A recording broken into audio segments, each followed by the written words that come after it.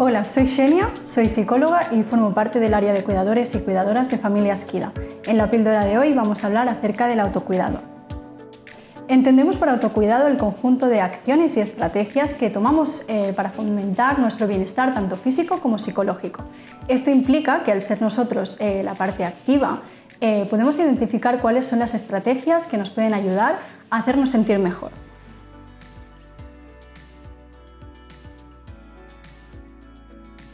¿Qué beneficios nos aporta el autocuidado?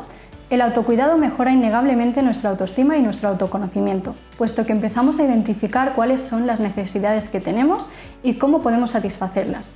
Detectamos también aquellas pequeñas cosas que nos gusta hacer, nos tratamos bien a nosotros mismos y nos dedicamos el tiempo necesario. Otro de los beneficios que nos aporta el autocuidado es la mejora de nuestra capacidad de adaptación porque al autoconocernos podemos generar también respuestas alternativas para afrontar de una forma más óptima las situaciones de estrés o de malestar emocional. Y esto a la vez también mejora nuestra productividad y nuestro rendimiento, porque aprendemos a priorizar aquellas cositas que son más importantes para nosotros y aprendemos a, también a, a poner límites.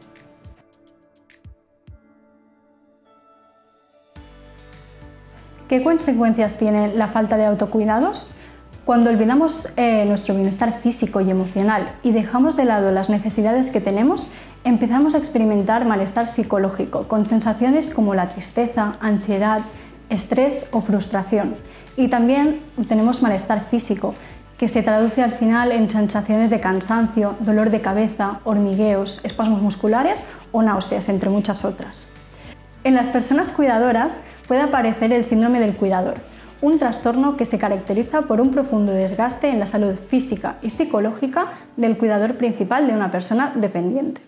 El cuidador o cuidadora experimenta cambios constantes en el área laboral, social, familiar y personal y se enfrenta diariamente a la compleja situación de atender a una persona que depende de él o ella. Así pues, muchas veces acaba descuidando algo imprescindible, que es su, autocuidado.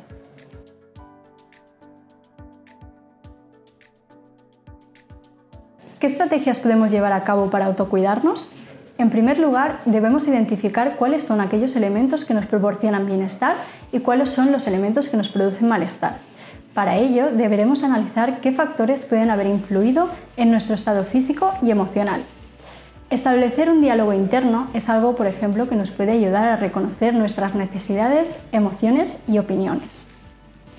Una vez tengamos identificados aquellos elementos que nos causan malestar, intentaremos también reducirlos o cambiarlos para rebajar ese gasto de energía que estamos invirtiendo. Por el contrario, con aquello que ya hemos identificado que nos causa bienestar, procuraremos fomentarlo para que, de esta forma, podamos adquirirlo como estrategia que nos haga sentir bien.